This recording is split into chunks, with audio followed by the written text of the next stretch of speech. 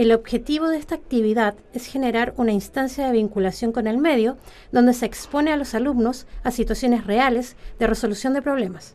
Esta actividad es la clínica del PC que surgió hace como 5 o 6 años atrás dentro de INACAB, en donde nosotros recibimos a usuarios, a las personas con sus equipos computacionales y le ofrecemos un servicio de diagnóstico en donde podemos revisar ciertas cosas para poder eh, solucionárselas y si son de mayor complejidad, darles las recomendaciones necesarias para que lo puedan solucionar.